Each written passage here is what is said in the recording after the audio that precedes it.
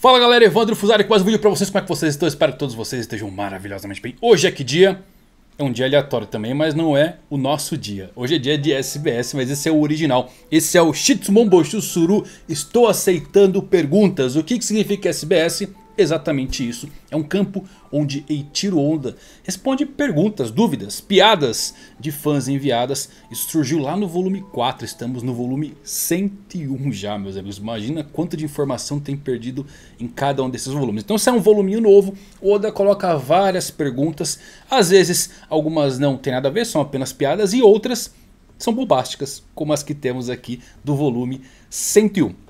Eu adoro o SBS porque ele traz um novo vislumbre, um novo tipo de pensamento sobre alguns pontos. E vamos falar sobre isso. Então se você é novo no canal, aproveita para se inscrever. Se você já é inscritão Mangalático, verifica o seu sininho para ver se você está recebendo todas as notificações. Eu queria começar esse vídeo lendo uma mensagem que o Oda deixou para o volume 101. One Piece tem diversas mensagens, qual você tira, qual você mais gosta. Mas aqui o Oda deixou uma que eu achei muito legal, muito interessante. E é sobre uma história, uma literatura clássica lá do Japão que se chama Tsurezu Reguza. E Oda adora essa história e nela conta que há muito tempo havia um especialista em escaladas de árvores. E ele observava em silêncio enquanto seus alunos estavam subindo esta árvore. Mas quando seus alunos estavam a apenas 30 centímetros de pisar no chão novamente, ele lhes disse para tomar cuidado. E o Oda acha isso muito profundo porque as pessoas se machucam quando baixam Aguarde, geralmente enfrentamos essas situações à medida que crescemos. Eu acho fenomenal isso daqui. É uma mensagem sobre arrogância. Às vezes as pessoas se tornam arrogantes sem perceber. Você escalou uma árvore, você chegou no topo dela e acha que você é invencível. E no seu retorno, apenas poucos centímetros de concluir definitivamente a sua jornada, você acaba errando e pode se machucar. É uma mensagem muito legal, talvez bem reflexiva, espero que você goste dessa mensagem, eu adorei e tire alguma reflexão do que Oda deixou para você aí escrito nesse volume 101. Mas vamos começar ao que interessa. Temos agora Frank desenhado quando tudo deu... quando tudo deu certo quando tudo deu errado. Com 50 anos é o Frank fazendo uns aquecedores para sua ilha quando tudo deu certo. E com 70 anos ele consertando bicicletas mas adicionando alguns canhões. já em um futuro onde tudo deu errado, com 50 anos, o Frank já está numa transformação muito curiosa. E ele vai destruir todos os navios do mundo. Eu acho muito legal que sempre vai contra os sonhos. Né? O Frank ele é um carpinteiro. O Sanji eu achei um dos mais engraçados, que ele vira basicamente o Judge e ele queria poluir todos os mares. Agora o Frank com 70 anos ele se torna um navio de guerra. Como assim? Isso é fantástico. Quem sabe isso aqui não seja uma versão de Pluton. O Oda desenhou as espadas do Zoro humanizadas. E quando olhamos para o Ado Ichimonji, descobrimos que na verdade é o Kozaburu Shimotsuki versão jovem. Por que, que esse Frank não pode ser uma versão de Pluton? Não pode porque essa aqui é a versão que deu tudo errado. Adorei, mano. Eu gosto demais desses negócios quando tudo deu certo, quando tudo deu errado. Espero ver demais personagens aparecendo. Aí um leitor perguntou para o Odo o que ele acha de youtubers de One Piece. Obviamente que ele está se referindo aos japoneses, né? Mas o Oda disse que sabe que eles existem e na verdade ele já viu vários deles. Está surpreso como todos são detalhados e têm teorias incríveis. E eles preveem muitas das histórias futuras, então o Oda ele não assiste, ele para de assistir. Interessante, né? Ele diz que é perigoso ele considerar todos os leitores dele neste nível. Que faz teorias, que busca detalhes. Existem muitos leitores casuais também. E ele precisa desenhar o One Piece para que possa ser apreciado por qualquer pessoa. Ver pessoas que entendem as coisas tão bem vão corromper ele. Então, ele, ah, eu tenho que explicar esse ponto porque um youtuber já fez tal coisa. Isso é legal porque mostra um pouco do processo criativo do Oda. Atrapalha o processo criativo dele. Eu, a exemplo, não gosto de assistir outros vídeos sobre One Piece. Não gosto. Por quê? Porque são meus inimigos? Porque eu odeio a galera? Não. Pelo contrário, a maioria são todos os meus amigos. Mas isso também atrapalha o meu processo criativo. Porque às vezes você bate o olho e fala, poxa, fez esse vídeo, eu vou fazer igual. Então eu prefiro me abster e fazer os meus próprios vídeos. Casualmente vejo um ou outro que a galera me manda. Mas é exatamente o que o Oda acontece aqui. Porque se ele fica vendo essas teorias e a galera descobre, ele vai começar a interpretar que todos os fãs também descobriram isso ou tem essas teorias. E isso pode acabar afundando o processo criativo dele.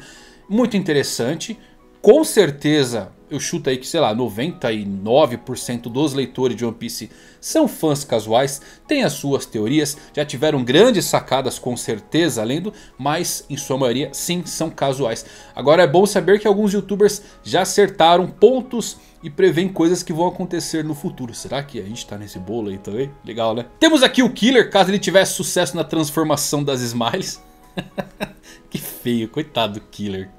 Ainda bem que não deu certo, só ficou com um sorriso só, né? Olha que legal, o Kanabo de Yamato, na forma humanizada, recebeu o nome de Takeru. Por quê? Porque a inspiração desse nome, obviamente, também vem da inspiração de Yamato, o príncipe Yamato Takeru. Sabe o que é legal? A história desse personagem, Takeru, o imperador do período lá, o Keiko, ele temia o temperamento é, do seu filho, que ele dizia ser brutal, e para mantê-lo à distância, o pai enviou a uma província distante. Só que o Takeru conseguiu derrotar todos os seus inimigos, fazendo o que? Se passando por uma mulher e atacando seus inimigos enquanto eles estavam bêbados em uma festa. Eu acho isso muito legal. Além da, do Yamato Takeru, do príncipe, tem algumas semelhanças bem estruturais com a lenda do rei Arthur, tá bom? Se você gosta da cultura japonesa, de lendas e mitos japoneses, recomendo você dar uma lida, tem muita coisa legal.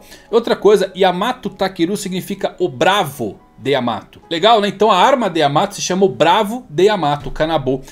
Takeru, adorei o Oda realmente confirmando a origem do personagem sendo com isso. A fruta de Yamato, a Kuma no Mi, aquela fruta mítica, também é ligada a uma divindade que o Takeru construiu um monumento em adoração a esse cão divino. Então tudo está intrinsecamente ligado, inclusive a arma agora da Yamato se chamando Takeru, o bravo da Yamato. Agora nessa pergunta, me surpreendeu bastante Oda responder isso, só que eu ainda fiquei com um ponto de interrogação na mente por conta de interpretações finais da resposta de Oda. Então me ajudem aí, vamos ver se vocês conseguem matutar e enxergar da forma que eu enxerguei também.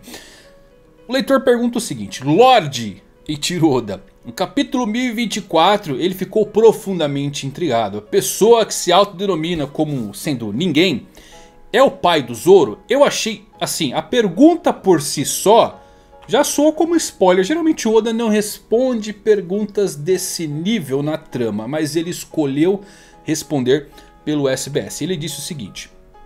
Eu tenho muitas perguntas sobre o fulano de tal, é a pessoa que se intitulou como sendo ninguém. É meio rude revelar, já que a pessoa com quem estamos conversando decide esconder quem realmente é. Mas já que muitos de vocês estão se perguntando quem é aqueles personagens, vou apresentá-los formalmente. Temos o Daimyo de Ringo, Shimotsuki Ushimaru, beleza, já sabíamos. Daimyo de Kibi, Fugetsu Obusibi, já sabíamos que era da família Uzuki e Fugetsu, mas não tínhamos o nome. Então temos aqui o Daimyo de Kibi, que é o Obusibi, e o Daimyo de Udon, que é o Uzuki Tempura. Após a morte de Oden, todas as regiões se levantam para derrubar Orochi, mas foram derrotadas pelos piratas das feras. Shimotsuki, o Shimaru e Onimaru, a raposa que roubou Shusui Tesouro, eram uma dupla famosa. Originalmente, haveria uma cena em que Onimaru estava roubando Shusui e ele fica chocado com a aparência de Zoro. Guardem bem isso. Que parece idêntico ao jovem Ushimaru, mas isso só complicou as coisas, então foi cortado. Além disso, pode nem ser mencionado no mangá. Pode nem ser mencionado. De qualquer forma, responderei sua pergunta. Ushimaru não é pai de Zoro. O nome desses três personagens não será revelado no mangá. Então eu os incluo aqui. Em relação à linhagem de Ushimaru, não tenho certeza se vou desenhar mais ou escondê-lo. Então vamos encerrar a discussão aqui. Eles realmente se parecem, hein? Então galera, apesar do Oda colocar aqui que o Shimaru não é pai do Zoro, eu ainda tenho algumas dúvidas aqui quanto a essa resposta se o Zoro tem ligações e conexões com a linhagem do Ushimaru. Por quê? Olha só. O Zoro tendo uma aparência idêntica ao Ushimaru, teria uma cena no mangá qual a raposa ficaria espantada enquanto o Zoro se parece com o Shimaru. Temos vovô Ryogoro dizendo sobre o Shimaru e também sobre Ryu, uma espadachim deu um olho só. É só vontade herdada? É só destino? E sabe, o Oda aqui no final, é, ele dizendo que não tem certeza se vai desenhar ou esconder, encerra a discussão nesse ponto e depois finaliza. Eles realmente se parecem. Parece aquele tipo de coisa que o Oda joga para brincar com os fãs.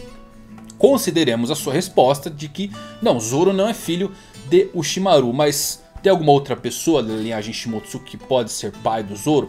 Oda ele vai explorar como o Zoro surgiu com 10 anos de idade lá na vila do East Blue e tem essa semelhança direta com o próprio Ushimaru. Então assim, eu fiquei com minhas dúvidas nessa parte de interpretação porque parece que o Oda ele respondeu não, não é, confia, não é, mas sabe aquela coisa que ele tá tirando uma onda?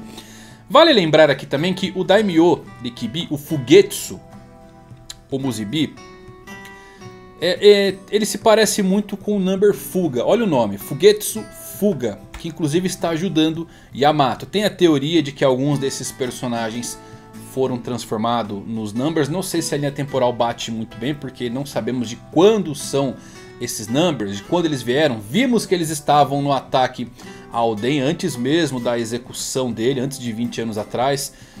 E esses três personagens só foram executados após a morte de Oden, entre aspas, ou transformados em Numbers. Mas tem essa pequena dica aí de Fugetsu, fuga. Agora, sim, eu estou bastante confuso aqui. Vou dizer para todo mundo que me perguntar que Zoro não é filho de Shimotsuki Ushimaru. Mas ainda tenho 99% confirmado, mas aquele 1% dúvida por conta de como Oda coloca a sua resposta. Que vamos encerrar essa discussão? Mas ele se parece, né? O Oda tá trolando a gente, galera. Então fica difícil descobrir para onde ele quer levar essas coisas aqui. Por fim, creio que essa parte mereça um vídeo somente dela. Eu vou fazer, mas o Oda ele revelou o nome dos tripulantes de Shanks o Ruivo. Por quê? Porque Shanks muito provavelmente está para aparecer. Tem um filme dele anunciado. E eu acho que antes desse filme o Shanks já vai fazer uma aparição na série. Fazendo o seu tão aguardado movimento. Mas o Oda disse o seguinte. Incluindo as tripulações subordinadas. Quem é a tripulação subordinada do Shanks? Bom, ele tem tripulações ali sob debaixo do seu guarda-chuva, sabe? Que ele cuida, que estão subordinadas, que o Oda não veio a explorar. Eu realmente achava que era somente essa pequena tripulação, a inexpugnável tripulação do Ruivo, mas parece que ele tem realmente uma frota. Interessante. Mas bem, os Piratas do Ruivo, é, eles são uma equipe enorme nesse ponto. Palavras do Oda.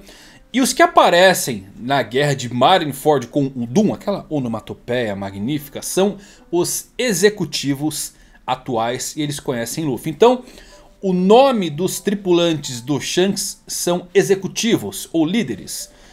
Isso é interessante. Já vou chegar nessa parte de executivos. Mas temos aqui o nome dos personagens. Temos o Lime Juice, o Bonk Punch, o Monster, o Build Snake, Hongo, Howling Grab e o Rockstar. O macaco o, ma o Mamaco Monster, ele é um executivo também, e o Rockstar não é. O Monster já tinha sido revelado o nome dele no Databook Blue, se não me falha a memória. Então não é nenhuma novidade, mas temos alguns aqui que realmente eu sempre tive dúvida para saber qual era o nome. Mas o Mamaco ser um executivo... O Rockstar ele é forte, tá bom galera? Não subestime o Rockstar, mas ele não é executivo por quê? Porque ele mesmo disse que ele é um novato na tripulação quando ele visita o Barba Branca para entregar a mensagem do Shanks. Mas antes disso, ele já era um capitão renomado, segundo suas próprias palavras. Então faz sentido ele não ter alcançado ainda o posto de executivo. O que, que é legal essa parte de ser usado o nome executivo para a tripulação do Shanks? Onde temos executivos também? Na tripulação do Doflamingo. E não que eles tenham qualquer tipo de ligação, mas o Doflamingo tinha uma forte conexão com o submundo. E eu fiz um vídeo já do Shanks também, muito possivelmente, ter uma ligação muito forte com o submundo. Porque o Shanks vem do West Blue, ele serve um saque do West Blue lá para o Barba Branca. E o West Blue é conhecido como um dos mares mais perigosos e muito ligados ao submundo, porque a, a cena lá é muito forte assim do submundo. Porque tem as cinco organizações, tem uma presença muito forte, é, são chamadas de cinco famílias do oeste. E o Shanks, toda essa coisa, eu vou deixar esse vídeo, esse link no card, assistam, tem muita coisa interessante que realmente conecta o Shanks ao submundo. Então Oda utilizar executivos para nomear aqui o rank mais alto da tripulação do Shanks Pode não ser à toa, pode realmente ser uma conexão do Ruivo com West Blue e a máfia, o submundo lá é muito forte e tem bons indícios de que o Shanks é o rei que comanda tudo pelas sombras. Será que o Shanks é vilão? Não é não, o Shanks é do bem. É isso galera, essas são as informações mais relevantes que temos no SBS. As outras perguntas são mais piadas ou questionamentos que não tem muito a agregar. Espero que vocês tenham gostado. Amanhã sai o vídeo da One Piece Magazine que também tem muita coisa. Para quem gosta de curiosidades do mundo de One Piece fora das páginas, esse vídeo vai estar recheado. Tá bom? Então espero que vocês tenham gostado. Deixa o seu like se você curtiu. Até a próxima. Valeu por assistir. Fui.